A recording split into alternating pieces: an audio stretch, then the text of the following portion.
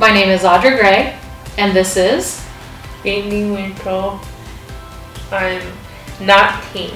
this is Britney Winkler, my daughter. She is 19 years old.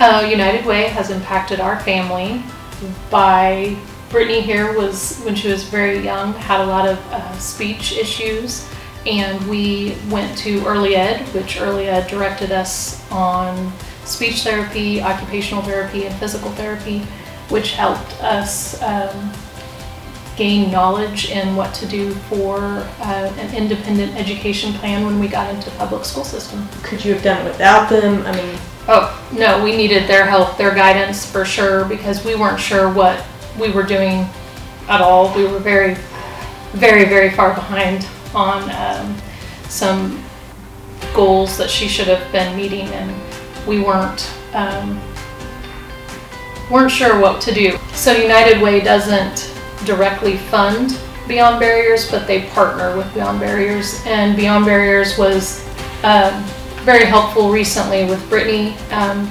explained how to fill out an application and how to um, do an interview, and we recently were placed in a job, right? Where are you working?